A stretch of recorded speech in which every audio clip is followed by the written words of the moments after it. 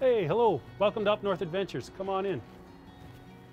Well, my name is Mark Stenzig, and uh, I'm a born and raised Yukoner. My sister and I were both, uh, both raised here, uh, European mother and German father, and uh, grew up uh, in, in the canoe industry. In 2021 will mark our 30th uh, year in business, and we've been operating year-round since 2000. So uh, it's, it's been a lot of work, but a lot of fun. COVID's a very big concern for all of us.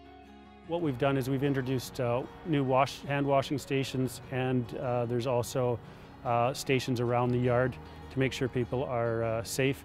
We've got new cleaning policies within the store and we just want to keep everyone safe. When we're traveling in the vehicles, our customers will be asked to wear masks and keep the rest of the groups safe. New for 2021, uh, we've relaxed our uh, booking policy so it'll make easy for wholesalers and uh, direct bookings to book with us. We do have a fleet of canoes and kayaks ready for them and uh, we've also moved into the packraft uh, section as well. So now we'll have packrafts available for rent and for fly-in trips. We've also introduced uh, hiking tours, so we're in Kluane and Tombstone for 2021, as well as other places throughout the Yukon. So we'll be offering day hikes and overnight tours. So very exciting news that Up North will be able to offer that next summer.